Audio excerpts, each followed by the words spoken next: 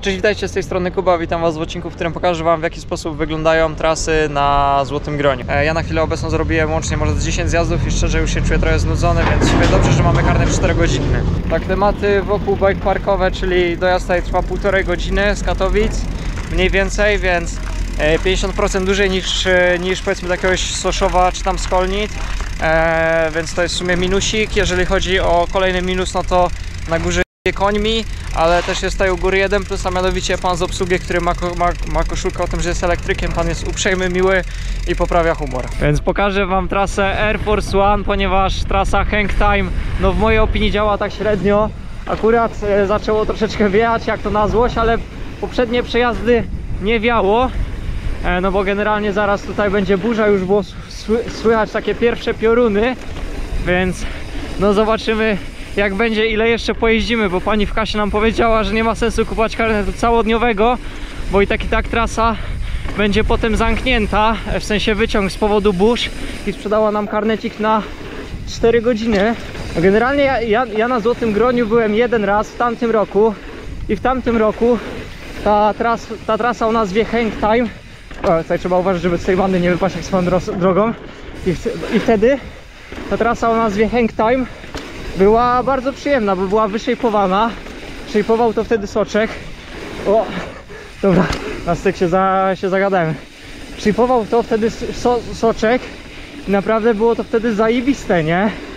A teraz no widać, że w tym roku e, nikt tego chyba nie szejpował, bo na wybiciach są kolejny i tak dalej. Więc jechałem sobie tamtą trasę jeden raz i uznałem, że nie ma sensu jeździć więcej, nie ma co się do niej zniechęcać jak wyszypują to po prostu przyjadę jeszcze raz. Ta trasa Air Force One jest y, no naprawdę spoko, nie? W sensie nie mamy tu jakichś bardzo dużych hopek, bardzo dużych band, ale, ale jako tako jako tako da się złapać flow, nie?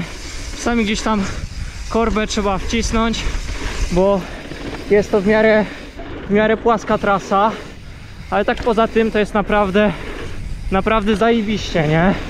Ta sekcja też jest bardzo przyjemna. Tam były dwa stoliki, tutaj są kolejne dwa stoliki.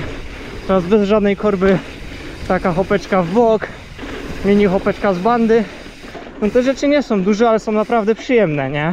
Tutaj przez pewien czas nic się nie dzieje, są same bandki. A i teraz hopeczka. A, łyżki w losie, bo chciałem robić suicide'a, ale ale koniec końców nie puściłem. No i tutaj już mamy końcóweczkę przed tym stoliczkiem. Polecam Wam troszeczkę zwolnić i tak bez żadnej korby da się wszystko na spokojnie polecieć.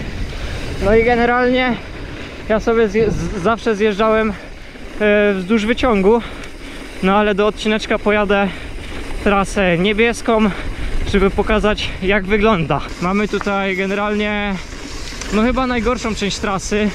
Zobaczcie na przykład tutaj ile jest śladów, że ktoś poleciał tam. E, zobaczcie no, jaka ta banda jest niska. W sensie no, ta końcówka jest ewidentnie, ewidentnie do zmiany. No, tutaj też są ślady, że ktoś wypadł z bandy już dzisiaj, bo ślady są aż dwa. Więc no ta trasa, ta końcóweczka, tak jak mówię, no kompletnie mi nie siedzi. No ale git, że jest. Ja tak mówię, ja sobie cały czas jeżdżam tamtędy. Aha, dropy w sumie dzisiaj nie leciałem, skoczmy sobie ten środkowy, bo pewnie nie będzie jakiś ciężki. Dokładnie, aha, już tutaj czuję, że trzeba sporo zwolnić. Dokładnie.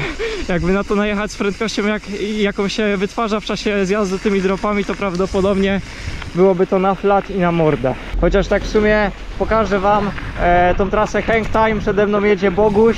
E, to jest taki zapoznawczy przelot. Niedolocik lekki. A, tutaj też niedolocik. Dobra, tutaj już doleciane przynajmniej. Teraz ten taki dziwny y, step up, gdzie łatwo jest wyskoczyć z wandy, jak się o tym nie wie. A i to. Czy nie, to nie ta trasa chyba.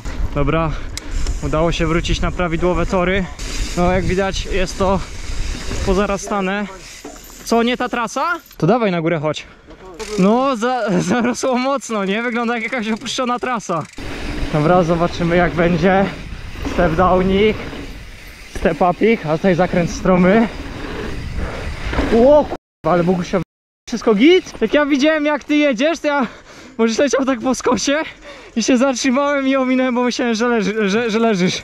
Ale tak jak zeskoczyłem tego step downu, tam trzeba będzie zwolnić, wiesz? To jak jako tako kojarzysz ten teraz z tamtego roku, to w sumie możesz jechać pierwszy, wiesz?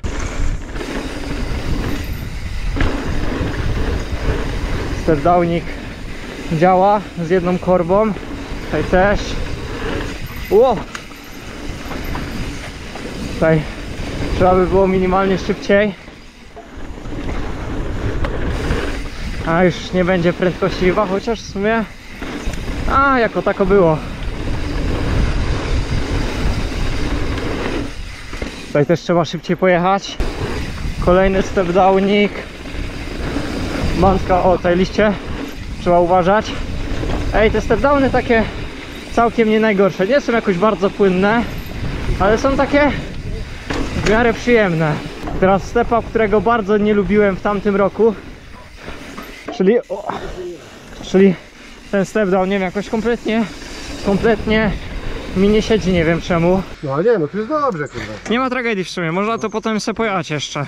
Ej, w sumie jak tak robię ten drugi przejazd, taki zapoznawczy, bo pierwszy to dosłownie było jazda na, sied na, na siedząco, to nie wygląda to aż tak źle, w sensie wiecie o co chodzi, że e, wydaje mi się, że jak się zrobi jeszcze jeden przejazd, to już się sporą część rzeczy stąd po prostu poleci, nie?